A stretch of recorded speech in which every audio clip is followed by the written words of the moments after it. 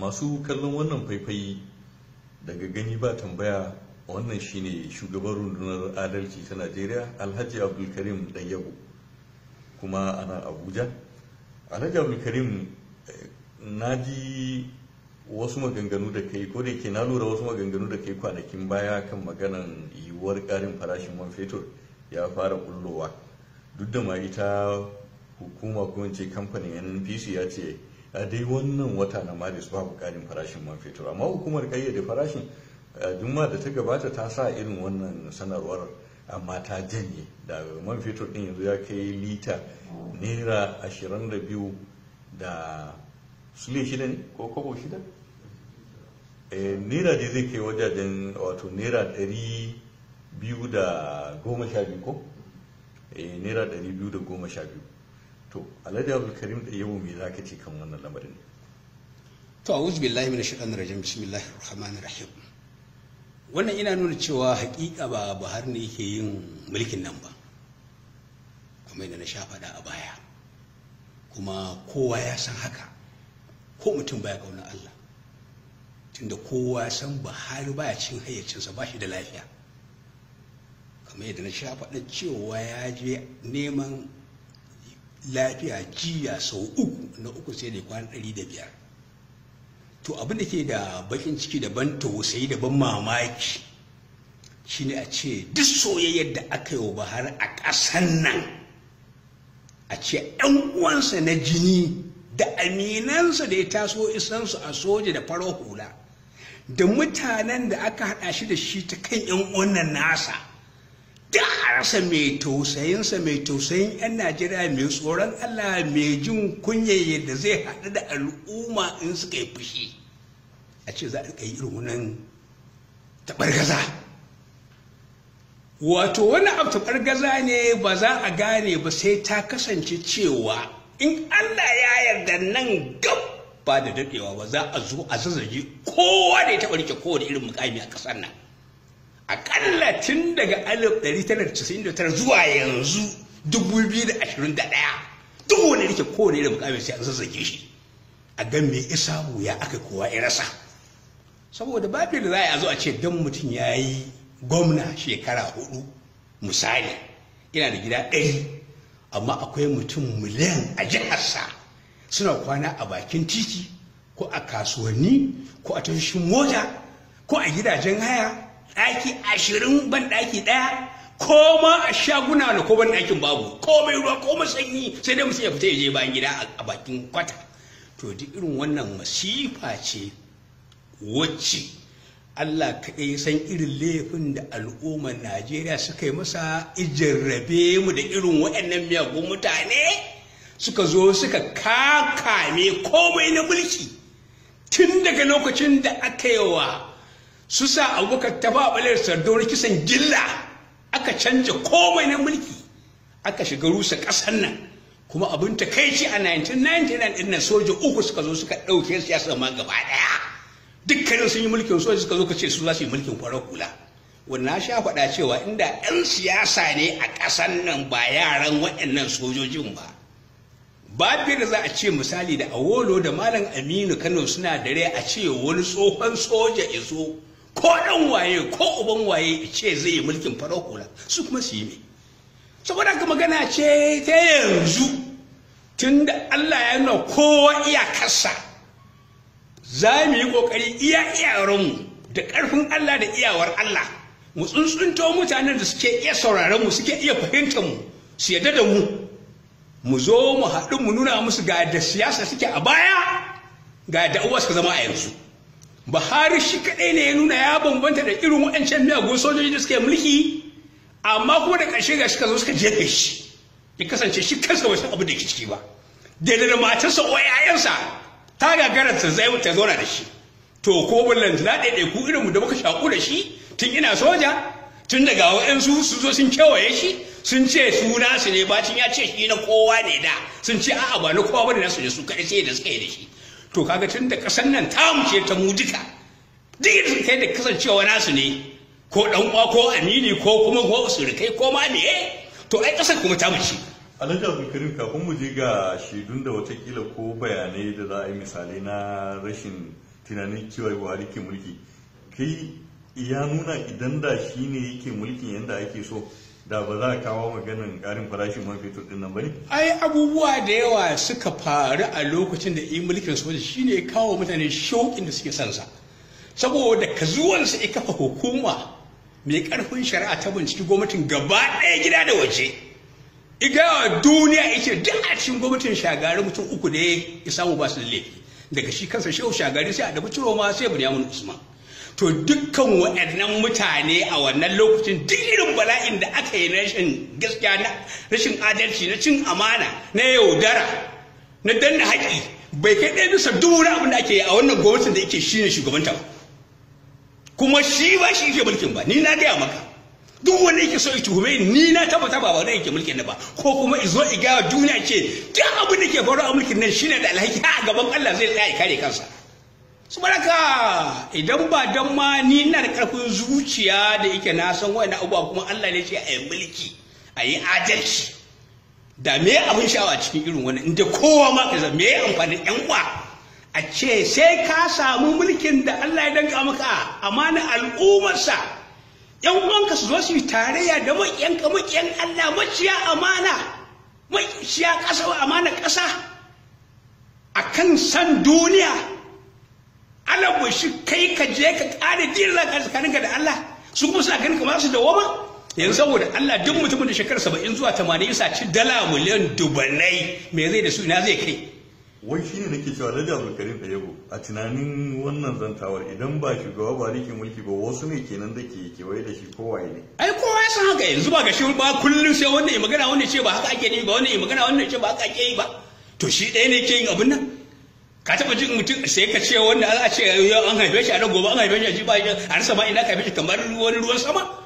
Saboda haka magana ce ta cewa yanzu a 'yan Najeriya idan akwai masu imani masu hankali masu ilimi masu mutunci masu tsoron su game da Allah salin alin su yi ƙoƙari su zo mu san me ya faru a ƙasan nan yaya za mu yi maganin abin da ya faru. Maimakon mu bar ƙasan nan kowa san sirrin ɓarayin ƙasan nan. Kusan kowa ya ga cewa ya kamata shi ma ya zama ɓarawo. To kaga idan muka shiga wannan kaga an kira abin da ake cewa anake kowa da ya ƙarfin wani sai yi masa kakikaka. To daman sun ce su wato dodo da suke wa tsafi. To mu da Allah ɗaya muke bautawa ai kaga za mu zo mu ce dodon nan bai isa babban na masu yi bauta masa ko masu yi masa tsafi. Saboda kan magana ce na cewa babin ra'ayi ƙasa inda hankali da ilimi a ce da ana sai da lita na mai kobo talatin da biyar. Ka zo ka ce yanzu kana sai da shi naira ɗari biyu ko za ka sai da shi naira ɗari biyu har da goma sha. To kaga ina hankali kuma ka ringa aunawa kuɗi nawa kake da shi wani inda rakawa aka yi. Na taɓa baka misali cewa na kawo profuma invoice misali ta miliyan goma. Kowace dala ɗaya za a canja mun akan naira ɗaya. Ni kaina miliyan goma ba ta tabbatar tawa ba. Sai da aka cika min rance a banki ta miliyan uku. Akan in na warware za su ɗebi kuɗinsu kafin nawa. I kasance gobe bacin na sa hannu an ce confirmed irrevocable letter of credit. Na riga na zama committed na gamsu na sa hannu an buga stampi a yau da yamma misali ana waye gari aka ce dalar da rake canja naira ɗaya ta zama naira huɗu da wanda na haɗa naira miliyan goma da kyar a nan da mu samu miliyan talatin. Kaga daga sannan duk wani mai kuɗi na halal mai kasuwanci irin wani Allah ya ce ya ajiye arziki a da sayarwa ya shiga wani yanayi. Ya kasance aka waye gari so komai shin da kaga ana harka ta kuɗi yau daga su kansu da a kai tsaye sai jakunan su da ake cewa jakunan barayi duk wani gani mai biliyan ka je ka bincika ubansa ne mutu ya gada? Ko kuma mu iyayen mu tsiyata ne? Ko kuma kasuwanci ne ba mu iya ba? Su ne su koya mana kasuwanci? Ni dan kasuwa ne. Of course na fara rayuwa da malamin makaranta amma na karanta kasuwanci har up to post graduate diploma. Kuma na aiki a kamfanin turawan ingila da faransa. Kuma na yi president na chamber of commerce industry mines and agriculture a kano. The commercial service center for west africa trans-sahara focal point. Airport na kano shine first airport of entry into west africa. Yau kwata-kwata an yi relegate ɗinsa to background ba jirgin kowace ƙasa da ke sauka a kano. In ban da da masifa da bala'i da dodo da suke wa tsabi yaya za a yi mana irin wannan? Kuma ina mutanen a kanan waye ne zai gaya mana shi wani abu ne a kano? A gwamnatance ko a malance ko a sarauce ko a kudance? Ai sai dai mu zo mu sake sabon tsari mu ga ta yaya za mu ulo lamarin nan me ya ɓaci ya za mu gyara. Tun da duk abin da ka sani in ya faru to akwai mafita. In da akwai kyakkyawan niyya to akwai mafita. Alhaji abdulkarim da yabo kwanaki na kama misali na ce idan ana cewa wasu manyan mutane da ake labari su suka hana ruwa gudu to yau babban cikinsu baya raye. Wato malam abba kyari da ake magana mutane da yawa suna cewa da shi ne gwamnati. To yau allah ya karɓi abunsa. Shi ma babban na babban attajiri tsohon dan jarida alhaji sama'ila kuntuwa wanda shi ma wasu na cewa yana daga cikin waɗanda ke sawa a yi a wannan gwamnatin shi ma Allah ya karɓi abinsa to in haka ne kaga yanzu babu wanda za a ce a zahiri ana suka kenan cewa shi ya hana ruwa gudu na tafiyar wannan gwamnatin to dan baka sani ba ne ai na taba gaya maka ni kuma cewa lokacin da Buhari shiga siyasa sai yan uwansa fito da abin da ake kira TBO Buhari organization. Ta riƙa lalata masa suna. Duk siyasar da ta shiga sai ta riƙa na kasu har ya gane ya soke tbo sannan kowa ya zo ya karɓe shi da jam'iyyar tasa da sauran jam'iyyu da ma ba 'yan siyasa ba suka rungume shi gaba ɗaya. Saboda shauƙi nasa na farko da ya zo a mulkin soja yi wancan da abu na bajinta na kowa bai saba sai gwamnati. Ya kasance aka zo ana kama mulkin nan sai ga wani abu ya fito shi kabar wato tvo ta rikide ta zama kabar kuma kabar nan yan uwansa ne ba wai wa'annan ba duk wannan yaran yan uwansa ne. Ba magana ce ta cewa wa'annan waye wani abba kyare waye ismaila isa funtuwa compared da dan wan bahari wanda da shi da abba kyare da wani suka rusa IAIB kuma dole suna cikin gwamnati. To magana ce ta cewa idan mutane ba sani ba yanzu za su sani. Shi ne abin da annabi ke cewa ballugu ani walau aya. Kuma Allah yake cewa wato fa zakir fa inna zikra tanfa almu'mini matuƙar ina raye to zan faɗi duk abin da sani daidai gwargwadon fahimta ta don mutane su gane don kuta gurin Allah. Ga da abin da same ni same ni a rayuwata in kuta gurin Allah. In so wani suke ganin Allah bai isa ba to ga mu ga su ga Allah. Saboda haka magana ce da cewa idan kana son wani abu ya fito fili a zo a zazzake gaban nan waye shugabanta? Su da waye a cikinta? Su wa da wa da wa suka kawo suka kewaye ba har shi? Kuma na sha faɗa. Na zan sake faɗa. Tun da aka sako ba har da ka tsaye da aka masa wata a barin bacin amsa juyin mulki ba a ƙyale shi kaɗai ba sai da aka kewaye shi. Da aka zo fiti a birnin nan aka da samun dama ka daɗa kewaye shi. Kuma duk wani aka kewaye shi da su ɗin nan har yanzu na gindinsa. Kuma har su gaba ɗaya yaran wannan kaballin ne. Sai abin da kamar take zuwa su yi kuma kowane daga cikin su abu ƙarfin dubbannan miliyoyi. To ya za a yi duk a ce a cikin gwamnati duk suna da wannan dukiya amma kuma mutane a gari suna cikin siya cikin talauci cikin cututtuka. Saboda ka magana ce ta lokaci dama inna rabbaka labiru sas Allah shine sarkin da baka rata amma na san komai daɗin daɗewa. Ba yadda za a ce wai zalunci da mutum da Allah subhanahu wataala shi da kansu ice mulki nasa ne. Ina ba shi ga wanda iga dama kuma yakan bashi daɗe a hannun adali ko da ba musulmi ba ne. Kuma ya gaggauta fizge shi daga hannun azalimi ko da ce ya yi imani. Ai sassar da wanda ya mulkin ba su suka yi azalincin kai tsaye ba. Wani su ne suka yi a ƙarƙashin su shagarar suka yi mulkin aka fizge ai ba kai suka yi zalincin ba. Wani ne suka yi zalunci a ƙarƙashin su. To ka tsaya ga abin zai biyo ba a wannan tafiyar da ake yi. Ba da za a ce a wannan halin da muke ciki yanzu a cikin duk barayin da suke mulki a ƙasar nan waye da zo ce zo taya shi bacin ya sata ni ko da je a cikin wani aka yi sata. Duk inda kaga haɗin kai ya haɗu to magana ce ta sata. To ba inda kai yake rabuwa sai a wajen rabawa. Duk duniya ba wanda ya barayi ya haɗa kai.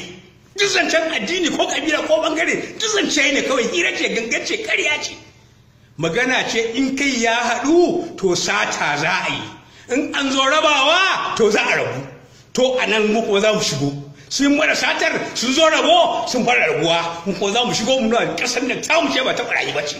In ba dukkan yan ƙasar da ya barayi ba ko da duk yan ƙasar da barayi ne to ni na tabbata ni ba barawo ba ne kuma kowa san ni ba barawo ba ne kuma na tabbata ba ni kadai ba barawo ba a Najeriya.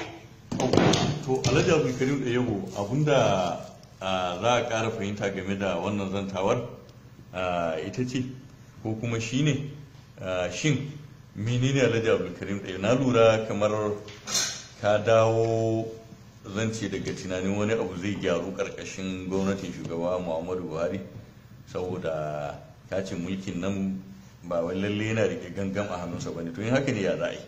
Ai na gaya maka duk komai na Allah yana da iyaka. Allah ne kaɗai ba shi da iyaka.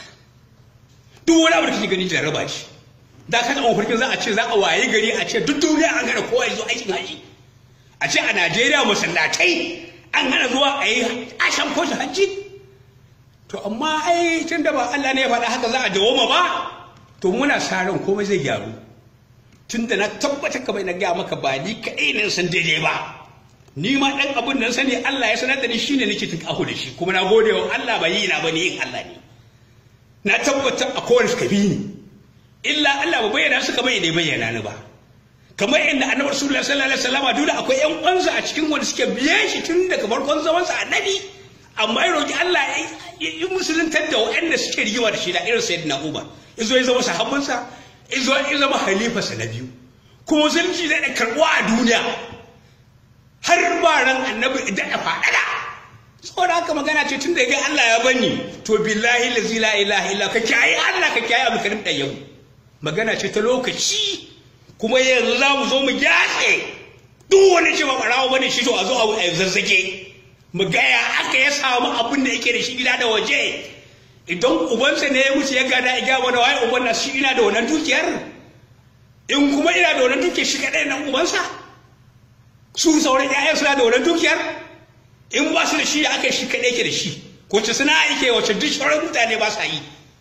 Me ya iya yi da samun kuɗi wanda duk sauran mutane ba su samu iya ba? Amma a zo a ce a rabe ƙasa dukkan masu mulki kowa ya dafe ne ya ce nasa ne kowa ya dafe ne ya ce nasa ne kowa ya dafe ne ya ce to sauran mutane ko ba a yi kaka ai kaga yanzu a ce ko abun kunya ma bai ya wuce a ce daidai da fulani da suke kiwon shanu an tilasta sun je suna suna tare mutane akan hanya saboda sana'a ta su an hana su. Daidai da noma da ake kururuwa a ji a noma a ji a noma a ji a to an yi noma an je girbi an girbe kawunan su an ɗora wani a kansa a cikinsa wani kansa a bayansa. To kuma ta da za a yi? Ai kaga zancen a ce za a zauna a zuba ido har sai kowa ya kare kaga ba ta taso ba. Tun da shi tsarin Allah ba ca yi annabi ta zama duk abin da aka masa ya haƙuri ba. Da farkon zuwan addini an umarce shi da ya haƙuri don ka tafiyar ta yi daidai da ta jahiliya. Amma da aka zo kan wata gaba bacin an yi hijira aka ce duk abin da aka yi maka karama in an ce ma kule ka ce cas. Illa a cikin tsari na annabi ice duk wanda aka yi wa abin da bai ji daɗi ba in yana so irama amma irama daidai da abin da aka yi masa kai wuce gona da iri. Alhaji abu wane ne wani abu ne yake hana ka samun damar ganawa da shugaban buhari a halin yanzu? Abin da ya hana ba ta samata iya gana da shi. Shi ne ke hana ni gana da shi. Alhaji abu kariya ba za a gane ba tun da wannan to yanzu na ina? Amma tun kafin ta tafi ake hayaƙaƙa da ita da shugaban kabar din. Duk duniyar nan ta ji abu kai abun kunya ga dukkan dan arewa sa fulani musulmi a ce shugaba da ya fito daga cikin da matarsa da dan wansa suna hayaka ga duk duniya tana ji wani shugaban kasa aka taɓa samun irin wannan. Ko kadai wanda bai shema abun kunya ba. Ba za a samu sun da kayan da ba nasa ba ba na gadarsa ba. Ai magana ta zo ƙarshe fa. Duk abin da a yi sai dai a yi. Amma ba biyar za a yi musu ido a ce haka za a tafi kowa ya ƙare. In ba Allah ne rubuta cikin alkurani mai tsarki cewa mu haƙura komai ya kai mana har sai mun kare ba har sai Allah ta riƙya masa ai cilan ne mu san matakin da ya kamata mu ɗauka. Tun da tsarin Allah duk wahalar da ka shiga in ka koma ga Allah akwai mafita. Illa saboda aka koma mu ga Allah shine wani irin saban Allah ake yi ko da ba mu muke yi ba amma da aka yi mana umarni in mun ga ana yi mu hana. In ba mu da ƙarfin hanawa shine mulki mu hana da baki kamar yadda ni abdulkarim ɗayyabu da ke kwatantawa kamar yadda malamai masu kwashi ya kamata su yi tsakaninsu da Allah. Ba su ga maka ayan Allah da tafsirin ayoyin Allah da da hadisai kuma su ga maka saban Allah wai shine za ka samu mulki ko sarauta ko kai arziki ba. Saboda haka magana ce ta lokaci yanzu kowa ya gani kuma shi da ce kowa ya ji a jikinsa. Komai da ruwa ke shi ma yanzu ina ji a jikinsa. Kuma kowa sai ya ji a jikinsa.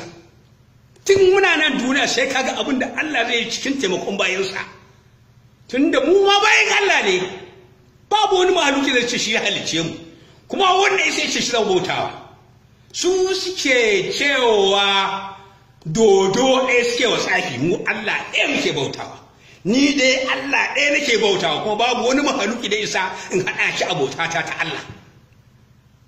Alhaji abdulkarim ya za ya kawar da wannan kan dagarkin da yake hana mutane musamman ma irin ka ganawa da shugaba buhari? A'a ai wannan ganda karke ba in na gana ba yanzu kowa ya kira zan ce a ce a gaba ba zan zo ba. Saboda me zan je ga masa kuma? Da abin zan ga masa yayi ban ga masa ba. Da abin zan faɗa waye bai sani ba. Na gaggaya masa abubuwa amma ba tun da ba shi zai aiwatar ba kafin a waje aiwatarwa abin ya lalace.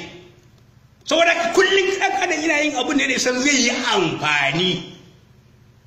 Amma in ka aura irin wannan mutanen ne suka zo ba za su bari abu ya ba saboda ka asiri tonu bacin asiri ya riga gama tonuwa. Duk wani barawa kasan nan an san kowa shi duk majarsa an sani. In shi ina ganin ba wani sani wani ba a ji ya sani ko banki ko ta kasa ko me. Yanzu ba ga duk inda ba za a fara kuma zancen shi ma da ya mutu. Ga jami'sa ba wani sai ake fara zancen duk kasan na ruba ba inda bai kai james iboro ba aka ce ya yi firi amma sai da ije ingila ka ɗauki shekara goma sha akan abin da ya a najeriya na sata kuma sai ake dawo da kuɗin. A bacin lut da ke ake masa lut lut lut ai da a kansa ake ta tsatsare ne har ya mutu na tsare. To sai da ya wuce yanzu kowa ya da lut ne. To shi kadai da lut? Sauran ka ba shi ba lut ba ne wayannan da muke da su ba lut ba ne to kowa lut kowa lut kowa lut a cikin su sai dai in hukuma da ƙarfin jara'a ta wanke shi wancin kari da wancin dauda a ƙarshe alhaji abdulkarim da yabo kwanan nan bai shugaban ƙasa shawara ta fuskar tsaro. Mun ji janar baba gana manguno yi wani jawabi ko yi wata hira inda yake nuna shugaba ya ware makudan kuɗi wajen harkokin tsaro ko sayan makamai amma ba mamaki akwai makaman da ba a gani ba. Duk da ba wai ana zargin su tsoffin hafsoshi sun wawo da wani abu ne amma daga baya ofishinsa da fadar shugaban kasa sun ce an sauya masa abin da yake nufi ba wai haka yake nufi ba. In ka saurari wannan zantawar mai ra'ayin ka kai to saboda Allah yanzu zaka ce duba ne ya zo yi wannan ya zo ci ba kuma yi ba? Ai zaka za zaka da cewa ashe ba Buhari ne yake mulkin ba. Tunda mutum ɗaya ma ga shi ya rabu kashi daban-daban. Kuma wannan shi ne dace da ce shi ne mai ba shugaban kasa shawara kan tsaro. Ya faɗi magana yanzu ya lashe yanzu. Da magana da ya shekara arba'in ba wanda ya sai zo shekara nake yi. Duk abin da faɗa gaba da kowa ya tabbata. Ba abin da bace da su baban gidan sani abinci ba ko sun tabbata. Kuma su gashi sai da suka mutu ake tabbatarwa. Magana ce ta cewa ba mutanen suka dace aka sa a guran suka dace ba. Shi ko an kana son ka samu abin da ya dace sai ka samu wanda ya dace ka ɗora shi a gurin da ya dace. In ka ɗauko da bai dace ka samu gurin da ya dace ba za ka samu dacewa ba. In ka ɗauko wanda bai dace ba ka sashi abin da ya dace ko ka ɗauko wanda ya dace ba ka sashi abin da bai dace ba ba za ka samu abin da ya dace sai ka samo wanda ya dace ka sa shi gun da ya dace. Tunda shi tsarin Allah magana ce ta cewa ka ba da amana ila ahali ha gurin da suka ta dace da aka dace da ita. Matukar za ka ce dan kana ƙaunar mutum ko dan ɗan uwanka ne ko dan ɗan abokinka ne ko sirikinka ne shi ne kawai gatanka da shi ka ba shi amanan mutane ko ma mai halin su je yi. To a nan matsala take. Shi tsarin Allah idan ba dan Allah ina bambanta zalunci da adalci ba da annabi ibrahim ba zai rabu da mahaifinsa ba tun daga duniya. Da annabi muhammadu rasulullahi sallallahu alaihi ba zai rabu da baffansa wani iri ne shi abu talib ba tun daga duniya. Da annabi nuhu ɗansa ba zai rabu da shi ba ba zai rabu da ɗansa ba. Da annabi ludu matarsa ko ƴaƴansa da ba za ta rabu da shi ba zai rabu da ita ba tun daga duniya. Saboda haka duk wani ya san ga wani Allah sanin halin yayin da Allah ya zaɓe ka yi baka amana bayansa to kamata yi ka riga kallon Allah ka riga kallon yadda zaka san da Allah akan wannan amana da aka baka. Duk wanda bai dace ba akan kowane abu da kake so ita ka gudanar da amana nan ka kawo da shi kai musu hukuncin da ya kamata. Tira a dawo da hukunci na biyan diyyar rayuka. Da ta lafiyar da suka salwanta da ta dukiyoyin da suka salwanta na kowa da kowa da irasa a cikin ƙasar nan wanda ya mutu abu a danginsa wanda yake rashin lafiya a bashi wanda ya rasa kadararsa a biya shi. Ba da ya zo a ce kullum kawai a karɓo kuɗi a sayar da mai kuma a sayar da kadarar gwamnati kuma shi ke rasu lafiya a juransu kuma da tsiya ta ƙasa kuma a riƙa ƙara farashi. To ina za mu je da wannan? Saboda Allah yanzu idan abin da ake siyawa naira goma goma kaji an ce naira ashirin ake siyawa. To ina ka samu naira ashirin din sai kai ka siya naira takwas kana siyawa naira goma samu riba naira biyu. To ka siyar naira goma ka samu riba biyu kaji sai kuma an ce naira goma kai kuma naira ashirin kai kuma naira goma ne da kai. To saboda Allah mun ban da kasan mahaukata yaya za a irin wannan? Ko da kina sha gaya muku dama abu huɗu ba shi da amfani a ƙasar nan. Arzikin ƙasar nan ba shi da amfani. Mutanen kirki ba su da amfani. Ilimi da na addinin da na boko ba su da amfani. Hankali ba shi da amfani. Common sense is not common. Inda ana amfani da su da ba za mu shiga irin musibar da muke ciki ba yanzu. A ƙarshe baki da alhaji abdulkarim da yau za ka lura kusan ana yaɗa bayanan ba mamaki. Shugaba jonathan tsohon shugaba ke ya dawo apc kuma wataƙila ma zai samu takarar shugabancin najeriya. Wasu suna cewa a tinubu suke so ya zo ya yi wannan takarar a jam'iyyar apc a shekara ta 2023 ai na ga ai a wajen rubutun an rabu kaga na farko dai har yanzu muna abun jonathan dala biliyan ashirin. Ragowa daga daga da dala biliyan arba'in da tara ɗigo takwas da ikwashe na gurɓataccen mai aka so ragewa sauran biliyan ashirin. Kowa ya shi sai ya damu da su. Ko bai zama a duniya? Sai ya fara damu da su. Kuma tsakanin bola tinubu da koma su waye yanzu kowa ya san sirrin kowa kowa san asirin kowa. Magana ce da kai ya haɗu an yi abin da aka yanzu kuma za a zo rabo an zo a rabu. Saboda haka muku ana za mu shigo. Alhaji abdulkarim an ce an gano ya jonathan mutumin kirki ne gashi ya sadu da ya bar zaɓe ya bar bai jayayya ba aka hau mulki a 2015 na ya da biliyan ashirin din wai a ya dawo da biliyan ashirin din ko ba haka kawai za mu zaɓura kowa sai dai ɓarawo shi da zai zama shugaba. Eh ana magana wai yana da son lumana da son zaman lafiya. To duk lumana duniya ya kai ana bin ka bashi ka biya. A tsarin musulunci ko mutuwar shahada ka yi ba za a yi ba za a binne ka ba sai ka biya bashin da ake binka kuma kowa ya kai musulmi ma kenan na Allah bana sa kuma kafiri. Ya za a yi da dukiya ta yanzu ko kuɗi na ni ni kadai da nake bin sa. In ma musulmi ne shi in bai biya ni ba wallahi ba shiga aljanna ba sai na sai na ce na yafe ba. Ko ban yafe ba. Alhaji abu karim ba mu so kai aiki da kalmar kafirci ba sai dai wata kila musulmi da ba musulmi wanda ba musulmi ba. To duk abin da kake so kai ka faɗa. Ni na san duk wani ba musulmi ba kafiri ne. Alhaji abu eh tunda Allah ne ba da cikin alqur'ani ya ayyuhal kafiruna ya ayyuhal kafiruna. Ai ba abu karim ne ya faɗa ba. To alhaji abu karim na ji abin da za a ce a nan shine wa masu yin wannan nazarin cewa amfanin mulkin jonathan ya dawo shine shi shekara huɗu zai sai mulki ya sake dawo arewa. To menene arewa? Arewa me? Ai na ga maka zancen arewa kudu yamma gabas ko ina ne ma magana ce ta haɗin kai a barnan an zo rabawa a rabu. To haka za mu ta zama? Ai ma magana ce ta divide and rule ba. A zo a haɗa kai a yi barna kuma an zo rabawa a rabu. To kuma shauran mutane haka za a ta zama shi gina daga kashe mutane ana garkuwa da yara ƙanana ana fajuci ana kidnapping ana duk abin da Allah ya hana. Kuma Allah ya zuwa mana ido. Haka Allah ya ce a cikin ayar alkurani ya ce an zo wani shekarar daga dubu biyu da ashirin da ɗaya ba za a canja ba har duniya ta tashi. God forbid Allah ya kiyaye. Alhaji abdulkarim ba za ka rasa jin masu cewa ka yi ritaya ka daina waɗannan maganganu eh, ba waɗannan canji da zai wuya ya samu a irin wannan yanayi. kai da kake ganin haka amma a gurin Allah ba a wani abu mai wuya sai dai in Allah bai ga dama ba. Bakin rai bakin fama. In ka ga na daina sai dai in sun daina. In sun dinga na dinga. Alhaji abdulkarim da yabo mun gode ƙwarai da ni gaske ma na gode ƙwarai da gaske. Masha Allah.